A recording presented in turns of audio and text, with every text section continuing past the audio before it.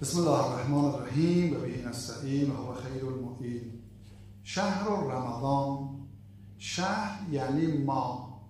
رمضان در منابع لغت به دو معنا آمده. یک الرمض اون تندی و تابش آفتاب را بر شنها و ریگهای بیابان می‌گویند که راه رفتن بر آن را مشکل می‌سازد.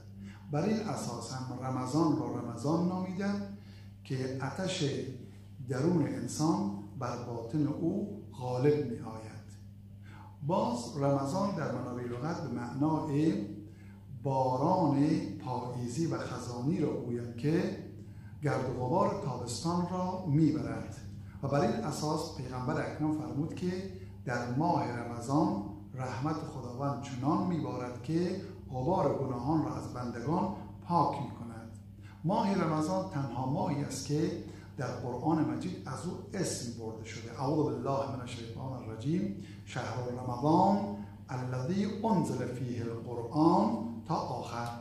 و همینطور در برای ماه مبارک رمضان در آیات روایات حدود 64 نام ذکر شده.